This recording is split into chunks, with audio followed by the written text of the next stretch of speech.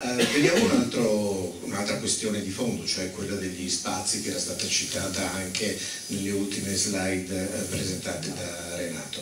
Um, L'amministrazione innanzitutto Sindaco come si pone di fronte a questo progetto? Uh, vede, lo vede di buon occhio?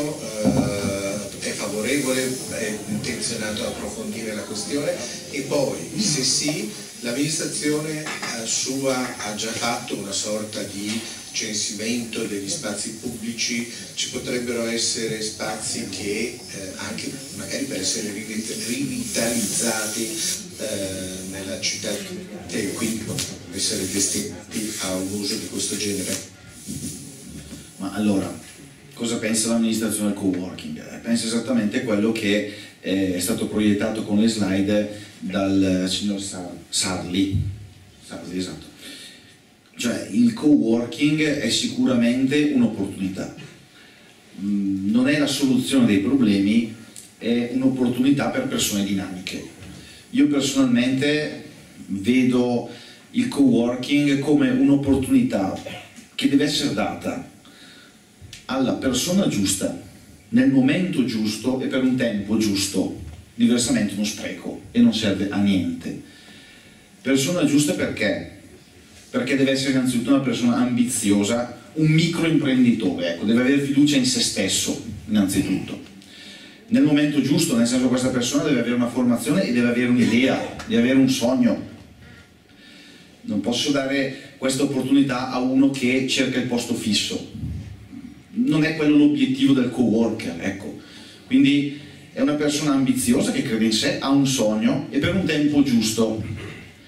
È il concetto di 24 mesi, io mi permetterei di dire 20, 48 mesi perché in 24 è difficile eh, realizzare un progetto, avere un'idea.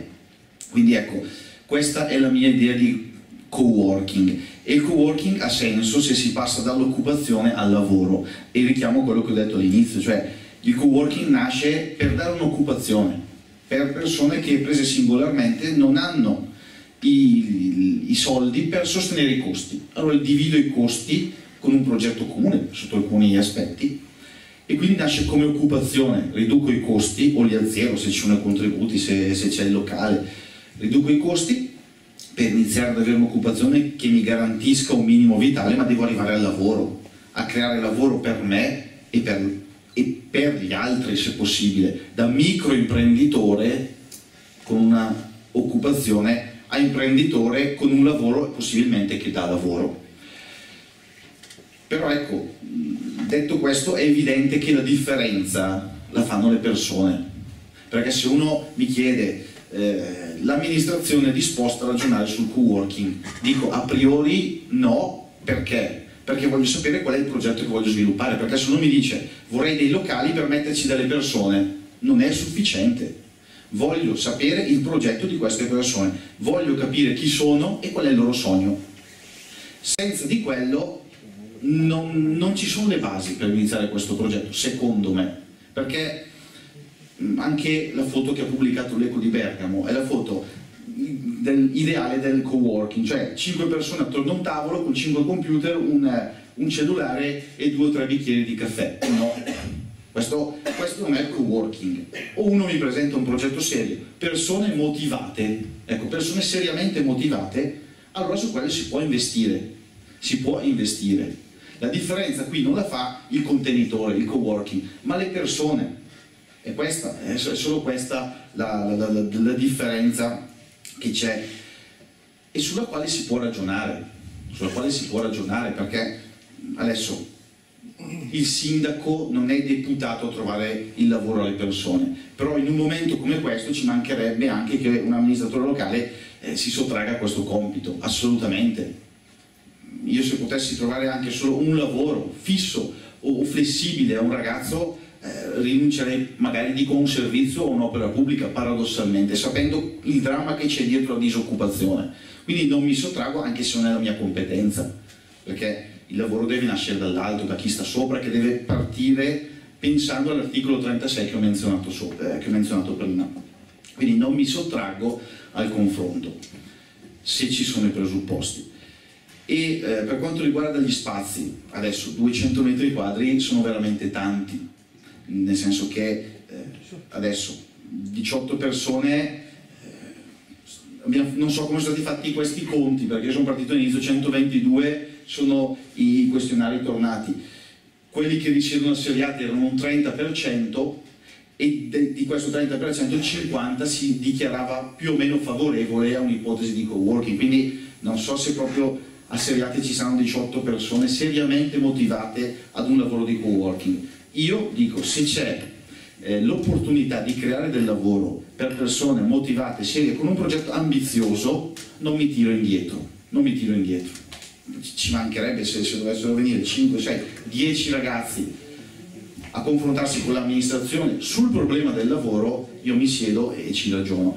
Allora lei mi ha chiesto se ho fatto un'analisi degli immobili del comune, eh, ho fatto un'analisi, assolutamente sì, il comune ha a disposizione ovviamente le case popolari, case popolari tra l'altro sulla stessa cosa il co-working. Andrebbe date, andrebbero date secondo me. Alle persone giuste al momento giusto per un tempo determinato. Invece le regaliamo però vabbè qui questa è una mia riflessione. Eh, abbiamo le case popolari ma anche, abbiamo anche uffici. l'ASL la casa delle associazioni. Ci sono diversi spazi. Ci sono anche spazi ancora liberi. Paradossalmente c'è un immobile di via Marconi che sono migliaia di metri quadri però ecco non, non, è, non è questa, mi sembra, la destinazione di quell'immobile in via Marconi. Però ecco, quello che posso dire è, se ci fosse un progetto serio, si fa un ragionamento serio e l'immobile si trova.